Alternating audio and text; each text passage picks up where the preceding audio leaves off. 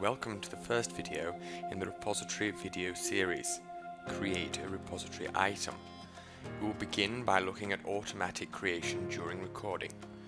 When you are recording a test with Ranorex Recorder and you perform an action on a UI element, the corresponding repository element is created and added to your repository automatically. As can be seen here with the addition of four repository items we can create a repository item with the track button. Simply click on the track button and select the UI element and a repository item is automatically created. You can also access the track button from within Ranorex Spy.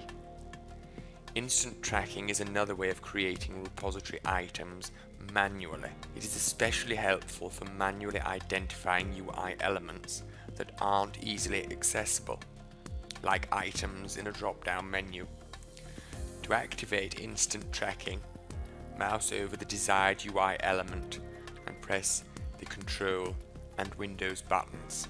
To manually create a repository item in the repository view, right-click an app folder, a rooted folder, or a simple folder. Click Add New Item, Item. Manually specify the item's path and name it. For further information on the necessary Ranorex path syntax, please refer to the user guide, a link to which can be found in this video's description. In the next video in the series, we will learn how to manage repository items.